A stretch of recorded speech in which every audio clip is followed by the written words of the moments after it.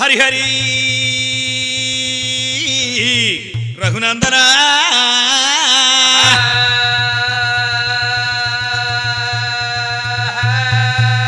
మల్లయ్య ఎప్పుడైతే కొల్లాపురి పట్టణాన్ని పరిపాలన చేస్తుంటే దానా ధర్మాలు చేస్తున్నాడే రాజ్యం లోపల కచ్చీరివినా ఆగ సిలుకలు పాయిరాలు శివలచ్చ వేలు వంశలు పాయిరాలు లచ్చ వేలు చేసి. లక్క చిత్తారు బొమ్మల గట్టి. బంగారు సింహాసనం మీద కూకుండి రాజు మల్లయ్య ఆగ రాజ్యం ఎట్లా ఏలుతున్నాడమ్మా? ఓ తల్లులాలో. నాయనా. అప్పుడు లగ్గం మీద నగులు కలిగినాయి రా రాజు మల్లయ్యకు. పెళ్ళి మీద ప్రేమ కలిగి నాకు దగ్గ పిల్ల ఎక్కడున్నదా సంగన్న అని ఎప్పుడు అడిగిండో. ఇక్కడికి దగ్గర దేవగిరి పట్టము రావో దేవుడో. దేవగిరి పట్టమందు నారాయణ. సక్కనొక్క హాడి విల్లావో దేవుడో. నా పవిడి కళ్ళ పద్మాల దేవే.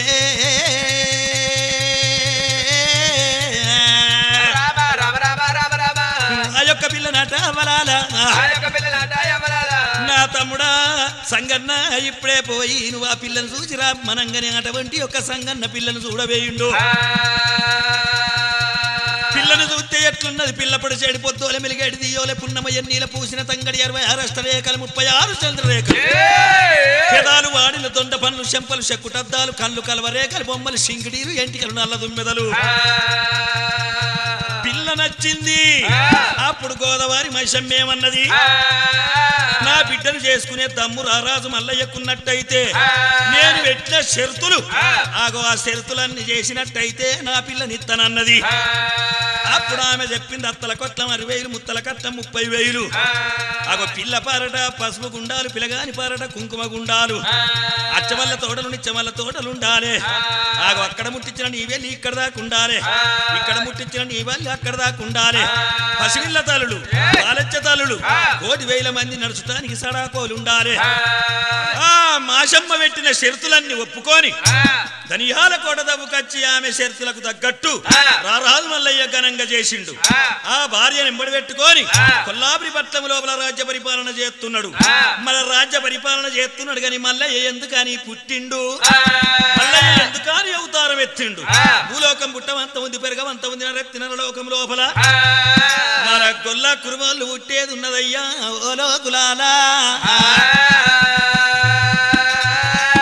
గొల్ల కురుమోళ్ళు ఎట్లా ఉత్పన్నమయ్యిండ్రు? ఎండి గొర్రె పవిడి గొర్రె యొక్క సంగతి ఎట్లా పుట్టింది? మరి ఇన్నుట ఇద్దరు ఉన్ని కాంకుల వల్ల ఎట్లా పుట్టిండ్రు? ఇన్నుట ఇద్దరు పత్తి కాంకుల వల్ల ఎట్లా పుట్టిండ్రు? ఎండి గొర్రె సంగతి బంగారు గొర్రె సంగతి ఎట్లున్నదో ఆలకించి వినుండ్రమ్మా ఓ తల్లులాలో.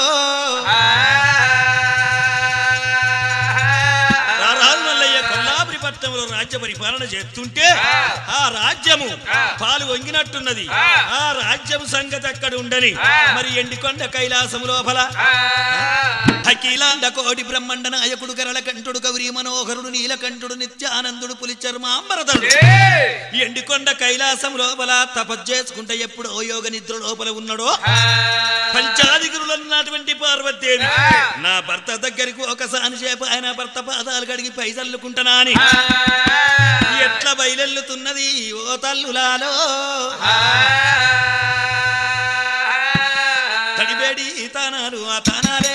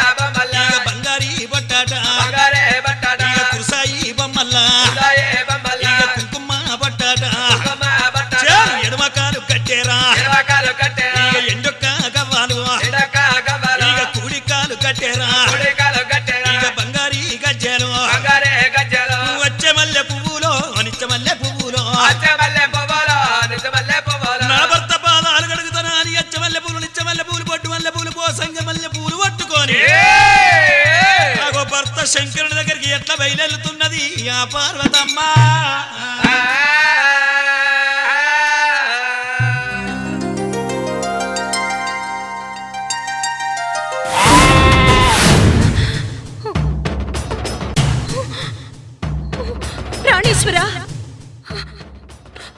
స్వామి ప్రాణేశ్వర నాథ శంకర. నమ శివాయ. ఏమిటి దేవి? ఏమిటా? మూడు కండ్లు మూసుకొని ముల్లోకాలు ఏలుతారు కాని ప్రక్కనే బ్రహ్మాండం బద్దలైనా ఉలకరు పలకరు. పార్వతి ఇప్పుడేం జరిగిందని?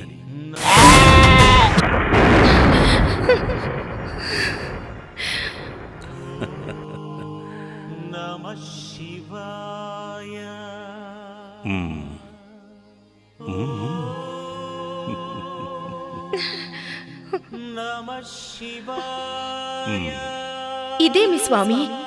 ఇంతటి కల్లోలం జరుగుతున్నా ఏమీ పట్టనట్టు చిరునవ్వులు నవ్వుతున్నారు? దేవి ఇదంతా జరగటానికి కారణం నువ్వే.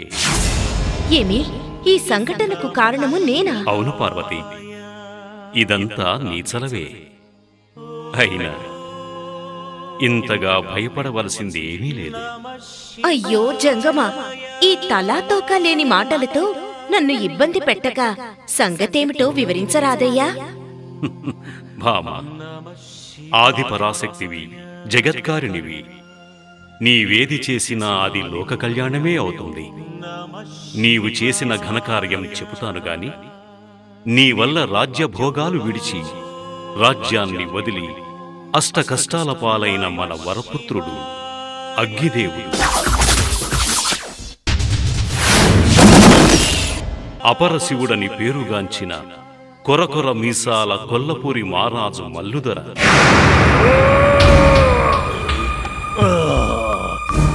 నీ వల్లనే లోక కళ్యాణానికి పాత్రుడవుతున్నాడు. ఆ సంగతులు చెబుతాను విను పార్వతి.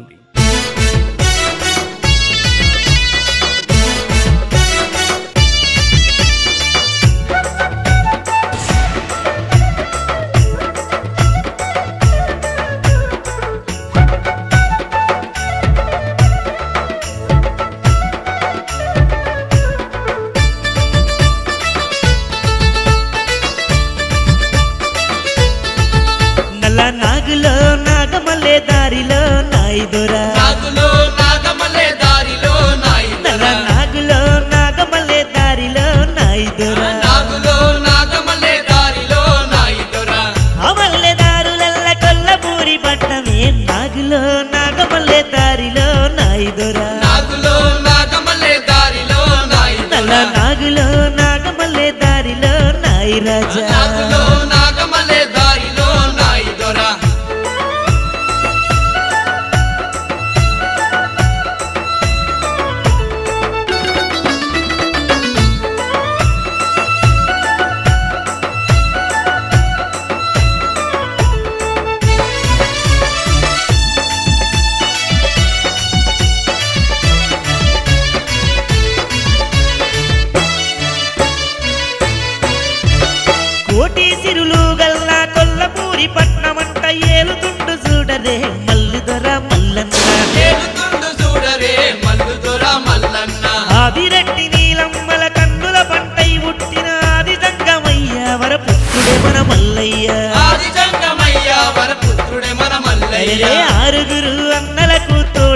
తోడబుట్టిన వాడే నల్ల నాగులో నాగమలే దారిలో నాయుదర అడ్డబొట్టు సంగముడే ఔషమంతుడు చూడే నాగులో నాగమల్లే దారిలో నాయి రాజా. నాగులో నాగమలే దారిలో నాగులో నాగమల్లే దారిలో నాయి రాజా. నాగులో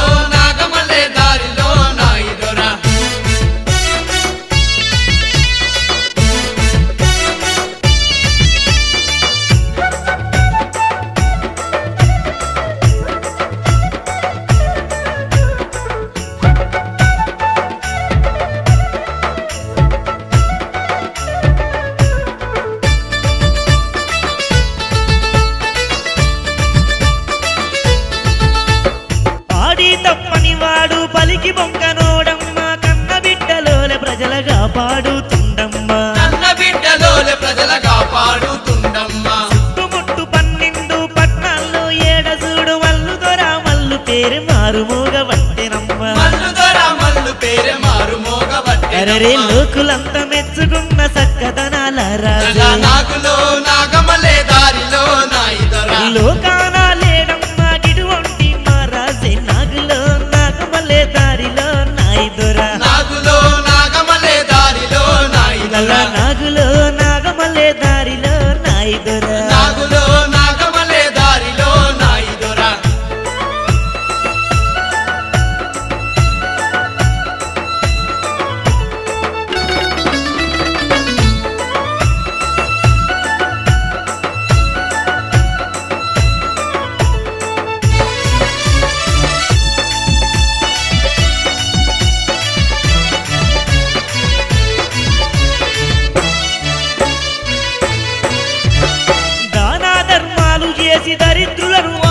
ఆదుకుంటూ గోసలున్న జనుల ఇంట గొడుగయ్యి నిలిసినమ్మ. కోసలున్న జనుల ఇంట గొడుగయ్యి నిలిసెనమ్మ. కనిపించే దేవునోలే కాపుదొర మల్లన్న కాంతులెన్నో తెచ్చేసే కొల్లపురి రాజాన. కాంతులెన్నో తెచ్చేసే కొల్లపురి రాజ్యాన మగ మల్లన్నను చూసి వదిన వన్నె లెక్క కళ్ళు నాగులో నాగమలే దారిలో నాయిదొర పళ్ళు పట పట కొరికే కల్లెర్రా జయ్యబట్టే నాగులో.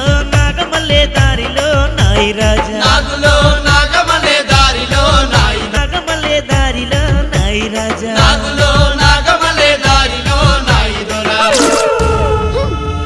ముందుగాలొచ్చిన మేమంతా మన్ను పాలై తెల్లందాక పొద్దంతాక కాయ కష్టం చేస్తా అంటే వెనుక పుట్టిన మల్లిగాడు రాజ్యమేలుడు. వెనుకొచ్చిన వాని పెండ్లం పద్మాలదేవి మారాణి లెక్క బతుకుడా? హ్మ్. ఇంకెంతకాలం ఈ దీర్ఘ ఎలగదీసుడు? ఇంకా నోరు మూసుకుంటే లాభం లేదు. ఆ మల్లిగాని రాజరికం నడవకుండా చేస్తా చూడు. ఏందే వన్నెలక్క? ఎన్నడూ లేంది అందర్నీ ఇలా జమ చేసినావు? ఏం సంగతక్క? అవునే అక్క ఇంకా పొయ్యి కూడా అంటు పెట్టలే. నువ్వు పిలిచినవని ఆగమాగం ఉరికొచ్చిన. జల్దీ చెప్పు. నా మొగడసలే కోపగుండోడు. యాళ్ళకు సర్దిగుంట పోకపోతే మెడకాయలు పుటుక్కు నిరిచి చంపుతాడు. ఎహే ఉండుండ్రే. మీ వంటల్ల మంటదలుగా ఈడ నా కడుపు మండుతుంది. అయ్యో అక్క ఆ జీర్తి గిట్ల చేసిందేమోనే. గీ దానికి అందరిని పిలుస్తావు. నిజమే అక్క మరీ నీకు చాదస్తం ఎక్కువ. మీ తలకాయల మన్నుబడా నా కడుపు మండేది అజీర్తితోని కాదే. ఆ మాయదారి మల్లిగాన్ని చూసి. అవ్వా ఏందక్క?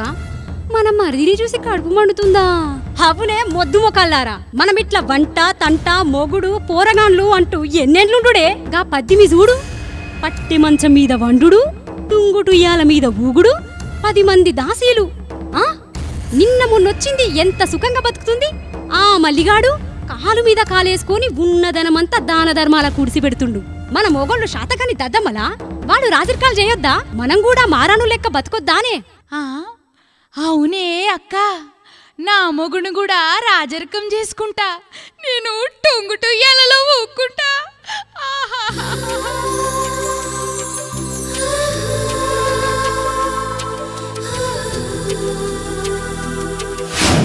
ఏహే నువ్వుండవే. అట్లా కాదక్క మనకిప్పుడు ఏం తక్కువాయే? పట్నాన్ని సల్లగా పాలిస్తుండు మల్లయ్య. మన మరిది పరాయోడా మన వంశానికే గదా గొప్ప పేరు తెస్తుండు. మీకు రావే బుద్ధులు మీ లెక్కనే పోనీతి అని ఊకుంటే ఆ మల్లిగాడు ఉన్నదంతా మందిపాలు చేసి ఆఖరికి మనకు మనిషికో షిప్ప చేతికిచ్చి అడుక్క తినమంటాడు. నేను మాత్రం ఇంకా ఓపికతో ఉండలేనే నిజమే గాని మరి ఏం చెయ్యాలో నువ్వే చెప్పక్కా. చెప్తానే చెప్తాం. ఆ మల్లిగాని లేకుండా ఏం చేయాలనో నాకు బాగా తెలుసు చెప్తా ఇనుండ్రి. అగో అగో సెల్లెల్లా.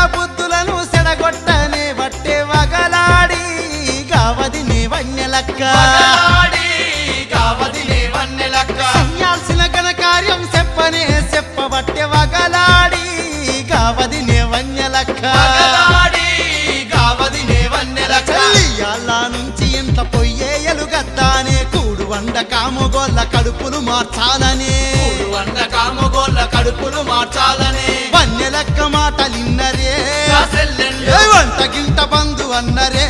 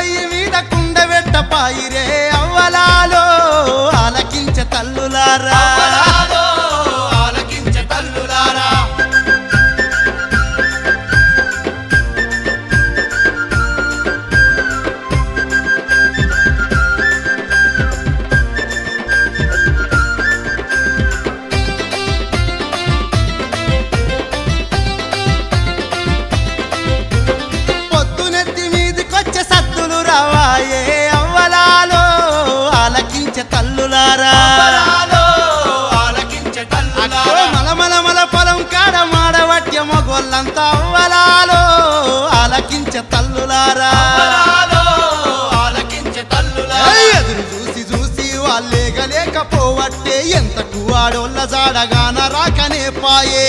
వాడోళ్ళ జాడగాన రాకనే పాయే. కడుపులన్నీ మాడబట్టేనే ఓ తల్లులారా. కన్నెర్రాజయ్య బట్టిరే ఆగురన్న దమ్ములు చూడే.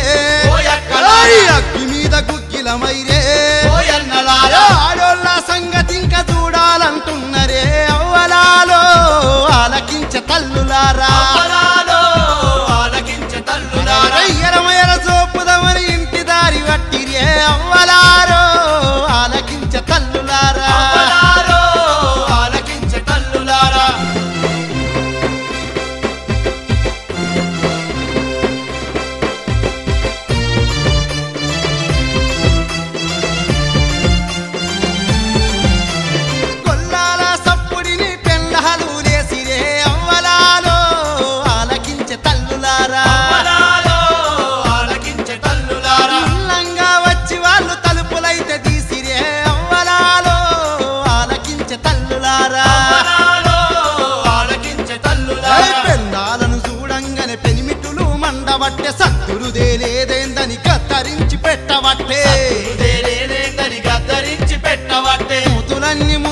ఏ ముక్కు జీదుకుంట ఏడ్చిరే పిల్లాలు. వలవలవల పోసుకుంటూ ఆడోళ్ళు. అరే వన్నె లెక్కను చేరిరే.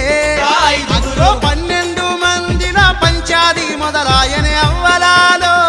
ఆలకించే తల్లులారా. అవ్వలాలో. ఆలకించే తల్లులారా. మర్దులారా మా ఆడోళ్ళ మీద కాదు మీ ప్రతాపాలు. మీకంత రోషం ఉంటే నేను చెప్పేది ఈనుండ్రి.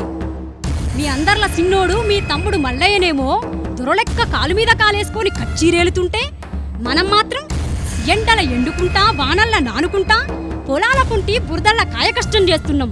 ఇదేనా న్యాయం. మీ తమ్ముడు రాజీర్కం చేసుకుంటా చినోని కల్లా అడిగిందంత దానం చేస్తుంటే రేపు మనమంతా అడక తినాలి. అందుకే ఎవలకు ఎంత వస్తుందో పంచి పెడితేనే మేం మీతోని కాపురాలు చేసేది. లేకుంటే మీ కర్మకు మిమ్మల్ని ఇడిసిపెట్టి మా పుట్టినలకు పోతాం. ఇక మీ ఇష్టం. వన్నెలక్క మాటలకు ఎన్నుల సలి ఉట్టెనే అవ్వలాలో ఆలకించ తల్లులారా.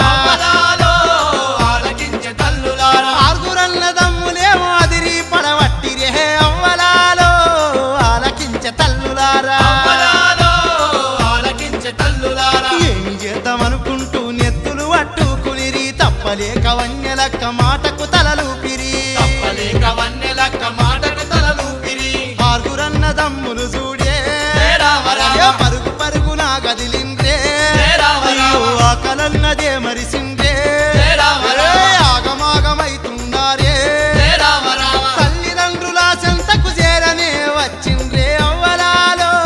ఆలకించే తల్లులారా. ఆలకించే తల్లులారా. నాయనలారా ఏం జరిగిందయ్యా? పట్టపగలు అందరూ కలిసి గిట్లొచ్చిండ్రు. ఏం ఆపదొచ్చింది బిడ్డలారా? అమ్మా మీతోనేం చెప్పాలనో తెలుస్తలేదు. కానీ చెప్పక తప్పేటట్టు లేదమ్మా. అసలేమైందయ్యా? అమ్మా ఇది మా ఆలోచన కాదు. మీ కోడన్లు నా కోడళ్ళు? మీ కోడన్లు ఏర్పడితేనే మాతోని కాపురం చేస్తామంటుండ్రమ్మా. లేదంటే వాళ్ళ అవ్వగారిళ్ళకు వెళ్ళిపోతామంటుండ్రమ్మా. ఏందిరా ఇది? కోడళ్ళు ఏర్పడతామంటుండ్రా? కూడున్న మీరు ఆ కారణంగా ఏర్పడితే లోకులంతా కాకులై కూస్తారు కొల్లపురి పట్నంలా మనకున్న మర్యాద ఇలువ. వద్దు నాయనా వద్దు. ఉమ్మడి కుటుంబంలో చిచ్చు పెట్టకుండ్రి. వాళ్ళను ఎట్లను ఒప్పించి బుద్ధులు చెప్పండి అయ్యా. లేదమ్మా మాతోన అయ్యుంటే మీ దాకా ఎందుకొస్తాం? ఏం చేయలేకనే వచ్చినాం. మీరెళ్ళి తమ్మునితోని ఈ సంగతి చెప్పుండ్రి.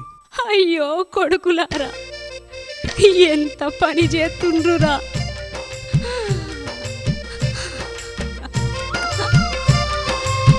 అయ్యో మల్లయ్య. అయ్యయ్యో నా తల్లి నీలమ్మ కంట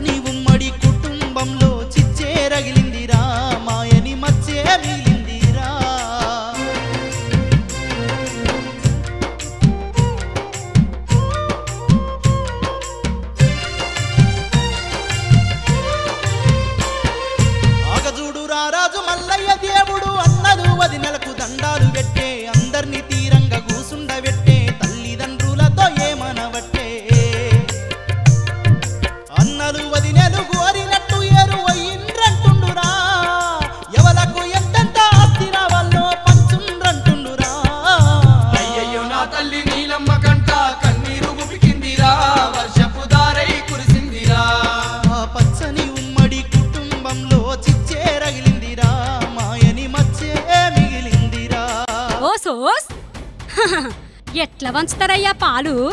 ఓ నాగలి పట్టినవా? మూట కొట్టినవా? పొలమలికినవా దురలెక్క కూసోని ఉన్నదంతా అడ్డమైనోళ్ళకు పంచిపెట్టినావు ఆ ధనమంతా లెక్క పెడితే మీదికెళ్ళి మాకే తేలుతావు. ఇంకా నీకేమొస్తుందని పాలు పంచమంటున్నావు పాపం కట్టుబట్టలతోని ఎల్లుడే నీకు మిగిలింది. పాలు వంచల్నాట పాలు.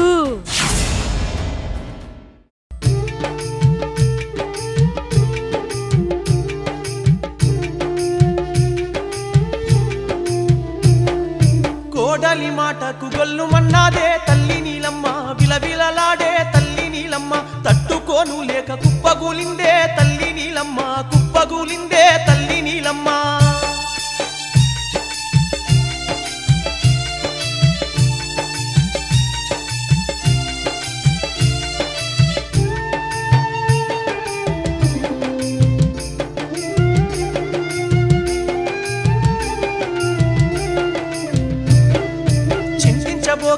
కన్న తల్లి ఇది ఎంత విధిరాత తప్పబోదమ్మా. దైవ నిర్ణయాన్ని మార్చలేమమ్మా. నారాత ఎట్లుంటే గట్లయితదమ్మా.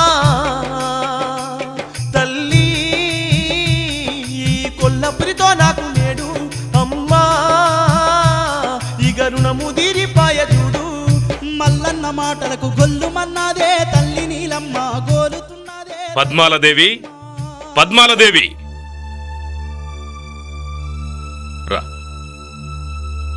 మనం ఈ కొల్లపురు నీడిచి వేరే ప్రాంతానికి పోతున్నాం. తల్లిదండ్రులకు దండం పెట్టు. చెయ్యి తల్లిదండ్రులారా మేం సల్లగుండాలని మమ్మల్ని దీవించుండ్రి. అయ్యో కొడక ఇట్లా బతుకుతారా మేమింక పోయేస్తాం నాయనా పోయేస్తాం. అన్నలు పోయొస్తాం. వదిన పోయొస్తాం. ఆగు మల్లయ్యా ఏమిటో దినే? ఇంకా ఏమైనా మిగిలిందా? అవును మరిది. మట్టుకు నువ్వు ఏరంది లేక పోతున్నావు? మరి నీ తల్లిదండ్రుల సంగతి ఏందో? మేమంటే ఇక్కడనే ఉంటున్నాం కాబట్టి రోజుకొక్కలం తిండి పెడతాం. మరి నీ వంతు తిండి కొరకు నీ తల్లిదండ్రులను ఏడికి రమ్మంటావో చెప్పి మరీ ఎల్లు వదిన మీకా చింత అవసరం లేదు. నా తల్లిదండ్రులే నా ఆస్తి. మీరేమిచ్చినా నాకు అవసరం లేదు. నా తల్లిదండ్రులకు ఒక్క పూట తిండి పెట్టలేని చాతగాని వాణ్ణి కాదు. అబ్బో!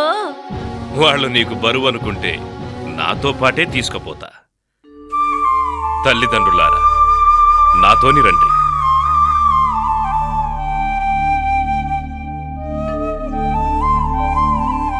ఆగమ్మా ఆగు. మనకి ఆభరణాలొద్దు. ఈ రాజభోగాలు అసలే వద్దు. వాళ్ళకే ఇచ్చేద్దాం. పదండి.